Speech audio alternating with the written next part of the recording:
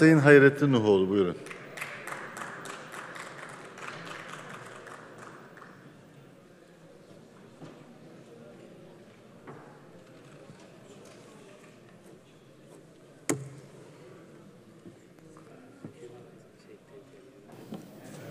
Sayın Başkan, değerli milletvekilleri, selamlarımı sunarak sözlerime başlıyorum. Konuşacağım konu bir yıl önce Giresun Eynesil'de meydana gelen bir olayda hayatını kaybeden minik yavrumuz Rabia Naz Batan'la ilgilidir. Adaletle ilgili bir konu olduğu için elbette ki YSK ve İstanbul seçimlerine değinmeden geçmek olmaz. Değerli milletvekilleri, ben İstanbul milletvekiliyim ve çocuk yaşlardan beri siyasetin içerisindeyim. İstanbul'da nelerin olup bittiğini en incesine kadar çok iyi bilmekteyim. Şimdi sizlere 28 Ocak 2019 günü saat 22.43'te bir ilçemizin mahallesindeki AKP başkanı, mahalle başkanının WhatsApp'tan gönderdiği bir mesajı okumak istiyorum. Demiş ki arkadaşlar seçmen burada oturuyor mu diye soran olursa burada oturuyor desinler. Polis gelir bir sorun olursa bizi arasınlar. Tekrar okumama gerek yok değil mi? Ben çok açık iddia ediyorum. Bavullarla YSK'ya götürdükleri ne kadar usulsüzlük, yolsuzluk varsa tamamını AKP örgütleri yapmıştır. Bu kadar kesin konuşmamın sebebi o teşkilatların içerisinde örgütlerde görev yapan tanıdığım AKP'lilerden aldığım bilgilerdir.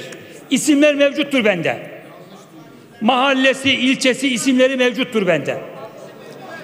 Ve değerli arkadaşlar, Adalet ve Kalkınma Partisi'nin Sayın Genel Başkanı dün dedi ki milli irade hırsızlarından hesap sormazsak millet bizden hesap sorar. Çok doğru yerinde bir laf. Ama işte o milli irade hırsızları kim? Bu hırsızların tespit edilmesi önemli. Bu hırsızlar bildiğim için söylüyorum. Asla hayatım boyunca yalan söylemedim. İsimler mevcuttur gene söylerim. Doğrudan doğruya seçmen kaydırılmışsa yer söyleyerek bunu belirteyim. Maltepe'den Ataşehir'e, Üsküdar'a, Üsküdar'a, Adalara seçmen kaydırılmışsa kim kaydırdı? Maltepe'den niye vazgeçtiler? Biz Üsküdar'da tespit ettiğimiz bütün bu seçmen listelerini itirazla bildirdik. Kimse dikkate almadı. Bunun Türkiye'nin genelinde birçok örneği var ama ne yazık ki Yüksek Seçim Kurulu adil zaten davranamazdı. Hukuk zaten yoktu. Emir vardı, talimat vardı. Bu doğrultuda karar verilmiştir. İstanbul seçmeni buna tepkisini gösterecektir. Hiç kimsenin şüphesi olmasın. Değerli arkadaşlar, gelelim minik yavrumuza. Aslında bu olay son günlerde yeniden çok konuşulmaya başlandı ama 11 yaşındaki Rabia Naz'ın 12 Nisan 2018'de evinin önünde yaralı olarak bulunması ve kaldırıldığı hastanede hayatını kaybetmesiyle ilgilidir. Birçok iddia ortaya atıldı ve bu iddiaların vicdanlarımızı yaralaması, sızlatması sonucu iki aya yakındır bu olayla yakından ilgilenmekteyim. Eynesil'de, Giresun'da ve İstanbul'da bildiğim bütün bu konuyla ilgili herkesle konuştum, bilgileri almaya çalıştım. Çocuğun intihar etmediği bir trafik kazasında yaralandıktan sonra evinin önüne getirilerek intihar süsü verildiği iddiası babası ve bazı yakınları tarafından ileri sürülmektedir. Anayasamızın ilgili maddeleri ceza kanunlarımızdaki çocuklarımızın korunmasına yönelik hükümler, Avrupa İnsan Hakları Sözleşmesi ve Birleşmiş Milletler Genel Kurulu'nun kabul ettiği Çocuk Hakları Sözleşmesi'nin ortaya koyduğu hükümlerin hepsi yetişkinlere çocukları koruma görevi yüklemektedir. Ama bütün bu görevleri ve hükümleri anlamak ve yerine getirmek bir yana her gün çocuk istismarları, çocuklara tecavüzler, kaybolan veya kaçırılan çocukların haberleri içimizi sızlatmaya devam etmektedir. Değerli milletvekilleri, bizim amacımız birilerinin suçlanması değildir. Bir babanın mücadelesinin ve ona yapılan uygulamaların haklı olup olmadığının anlaşılmasıdır. Sonunda şüpheli ve karanlık hiçbir nokta kalmayacağına dair beklentilerin karşılanmasıdır. Olay meydana geldiğinde işin içine hatırı sayılı kişiler hatırı sayılı kişilerin girdiği doğru mudur? Olay yeri inceleme polislerinin, hastane doktorlarının, adli tıp kurumlarının, savcılığın ve siyasetçilerin bu olayda rolü var mıdır? Bu soruların cevapları mutlaka verilmelidir. Olayda adı geçen eski bakanın yargıya başvurarak soruşturmanın her yönüyle araştırılmasını istemesi eğer doğruysa bunu memnuniyetle karşılarız. Ayrıca meclis araştırma önergesi verildiği iddia edildi. Bu da doğruysa bunu da yerinde buluruz. Önergenin görüşlere kabul edilmesi ve komisyonun kurularak çalışmaların kısa sürede bitirilmesi elbette çok önemli olacaktır. Böyle bir ortamda gerçeklerin aydınlatılması siyasetçileri de siyaset kurumunu da rahatlatacaktır. Temennimiz ve en büyük arzumuz işin içinde gerçekten siyasetçilerin adı geçen o siyasetçinin olmadığının anlaşılmasıdır.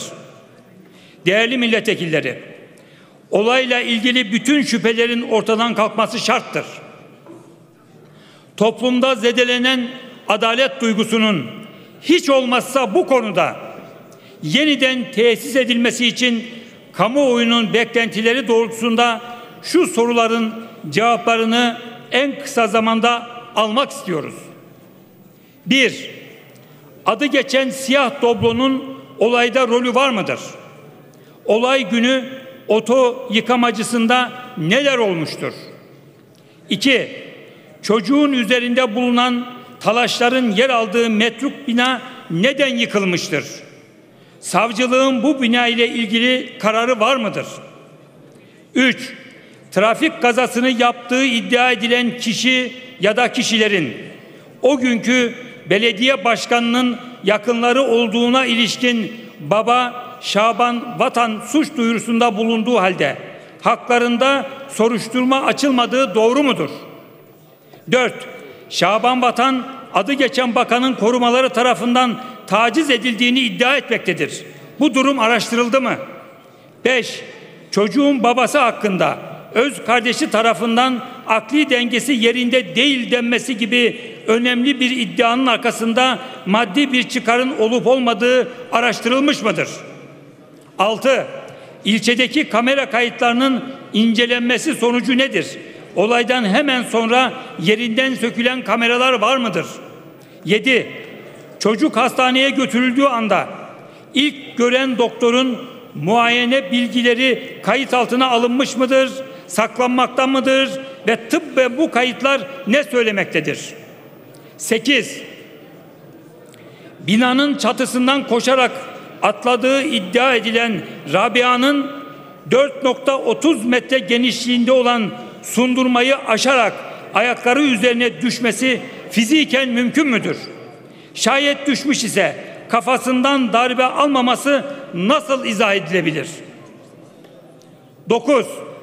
İstanbul Adli Tıp Kurumu İhtisas Kurulu'nun mezarı açtırmadan Cumhuriyet Savcılığı'nın talebi üzerine evrakları inceleyerek mütalaa verdiği anlaşılmaktadır. Hacettepe Üniversitesi Tıp Fakültesi Adli Tıp Anabilim Dalı ve Karadeniz Teknik Üniversitesi fizik profesörlerinden birisinin trafik kazası olduğuna, olduğu sonucuna vardıklarını açıklayan raporlarla ortaya çıkan bu çelişkinin giderilmesi gerekmiyor mu? Ülkemin bütün çocuklarına güvenli, huzurlu ve mutlu bir gelecek temennisiyle Yüce Meclis'e saygılar sunarım.